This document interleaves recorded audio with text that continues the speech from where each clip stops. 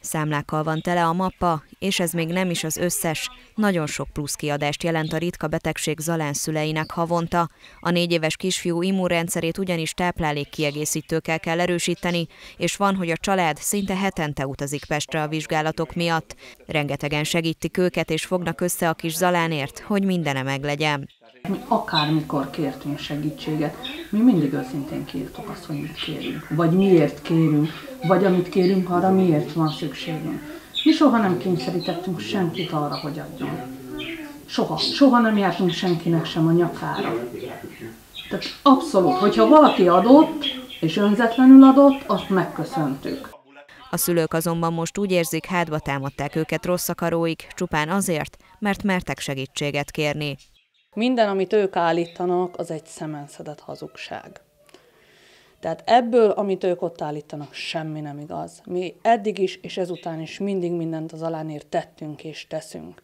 Hogyha mi kértünk, mi őszintén leírtuk, hogyha kérünk, mire kérünk, illetőleg amire kértünk, minden arra lett költve. Hogy ezek pontosan mik az utazások, az étrendkiegészítők, és ami adódott az életünkbe, ami Zalánnal kapcsolatos. Hónapok óta keseríti meg a család életét egy a segítségkérés valódiságát megkérdőjelező Facebook csoport, aminek tagjai között sokan úgy gondolják, Zalán szülei luxusutakra és magukra költik a jóhiszemű adományozók pénzét. Erről a riposzt írt. December eleje óta van ez a csoport, ahogyan észrevettük. belekötnek mindenbe.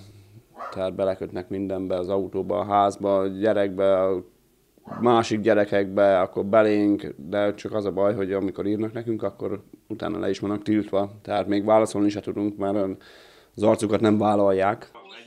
Híradónknak a család egy közeli barátja is nyilatkozott. Telefonon elmondta, felháborítónak tartja a csoport tevékenységét és a cikket is.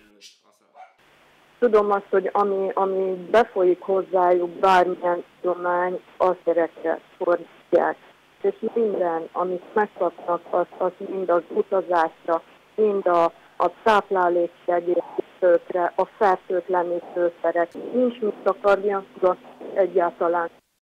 A riposzt cikke szerint a család válaszolt is az őt ért vádakra, az édesanyja azonban stábunktól hallott erről először, mondja. Az asszony hozzátette, a szóban forgó csoport tagjai közül egyébként sokan csak hallomásból ismerik őket.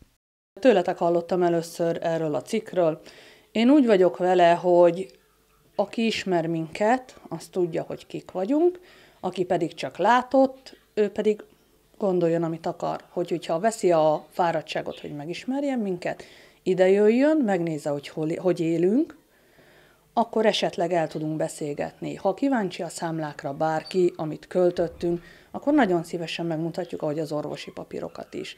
Az, hogy lehozta ez a bizonyos újság ezt a néhány sort, ö, forrás megjelölés nélkül, mert mi nem nyilatkoztunk, minket nem kerestek, tehát ez eleve jogi lépéseket von maga után. Hogy mit szeretnénk el, tehát elsősorban a nyilvános bocsánatkérést, akkor helyreigazítást, ö, beszéltünk a jogászunkkal, beszéltünk az ügyvédünkkel, tehát ezt mindenféleképpen végig fogjuk vinni.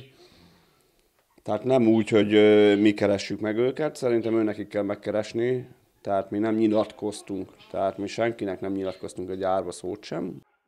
A család kamerát szereltetett fel házukra, a csoport tagjai pedig ebbe is belekötöttek, holott csak autójukat védték, mondják a szülők. Ennek egyetlen egy oka volt, hogy mi ezt bekameráztuk, hogy már betörték az autónknak a ködlámpáját. Tehát már hozzányúltak az autóhoz is a rossz indulatú emberek. Tehát nekünk muszáj az autót is úgymond megvédeni, mert, mert nekünk ez egy eszköz, hogy eljussunk Budapestre, ugyanis mi egy vérvételért Budapestre járunk. Mindenért. A szemdaganattal élő kisfiút legközelebb két héten belül viszik vizsgálatra Pestre szülei.